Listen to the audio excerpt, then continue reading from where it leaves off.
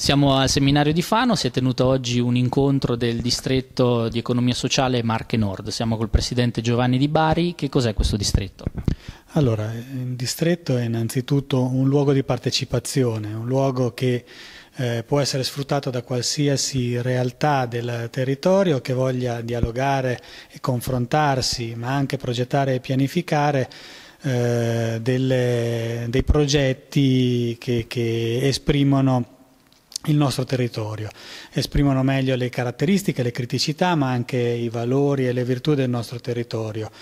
Un luogo dove si possono, come dicevo appunto adesso, eh, sviluppare delle idee insieme ad altri, inseriti in una rete che eh, può prendere e auspicabilmente prenderà eh, una dimensione eh, territoriale appunto eh, di distretto, quindi coincidente con grossomodo l'area delle, delle, Marche del Nord, un luogo di partecipazione perché? Perché fondamentalmente il distretto non è altro che un contenitore però attraverso il quale si possono sviluppare sviluppare delle politiche eh, di partecipazione e di sviluppo locale del, del, territorio, ma non solo, appunto sistematiche, che è anche eh, quanto in qualche modo la comunità europea attraverso eh, i fondi 2014-2020 suggerisce di fare.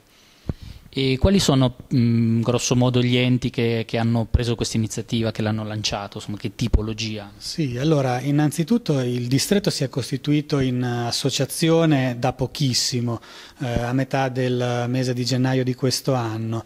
I soci promotori sono soci eh, che eh, rappresentano in maniera abbastanza eh, equilibrata il territorio, sono soci di Fano, di Pesaro, di Urbino, e eh, di qualche piccolo paese all'interno delle Marche del Nord.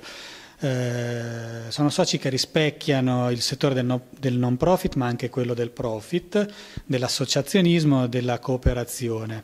Eh, gli enti promotori del, di questa idea progettuale, quindi dell'associazione eh, Distretto Integrato di Economia Sociale Area Marche Nord, eh, sono adesso in questo momento 10, ma appunto con, eh, cerchiamo eh, con tutte le nostre forze di aumentare il numero delle realtà che eh, si associano al distretto e eh, intendiamo entro l'estate di quest'anno portare il distretto a un numero di associati eh, grosso modo intorno alla, alla cinquantina di, di, organizzazioni, tra le quali non ultime eh, gli enti pubblici, quindi i comuni che sono nel nost nella nostra provincia cioè, quasi 60. Insomma.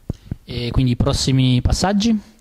Allora, i prossimi passaggi. Il primo passaggio è quello che eh, attraverso anche questo incontro abbiamo voluto eh, realizzare. Questo è il primo incontro pubblico dopo la costituzione dell'associazione ed è un, incontro, un incontro volto, oltre che eh, a, a diciamo, descrivere le linee progettuali del, del distretto, anche a eh, comunicare le nostre strategie e a raccogliere eventuali adesioni. Il, il primo passaggio che noi stiamo facendo è quello di coinvolgere più realtà possibili nella maniera più capillare possibile.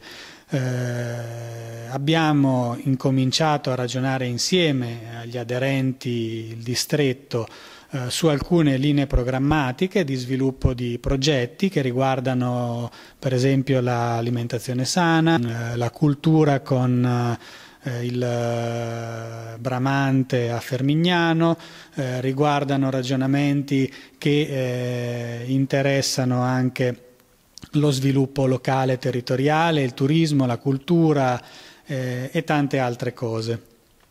Abbiamo in questo momento la possibilità di eh, organizzare un uh, percorso formativo eh, che riguarda il, eh, i bandi europei, quindi per formare in maniera molto professionale eh, e eh, anche in maniera insomma, mm, che rispecchi una qualità eh, poi anche spendibile delle persone rispetto all'accesso ai finanziamenti europei.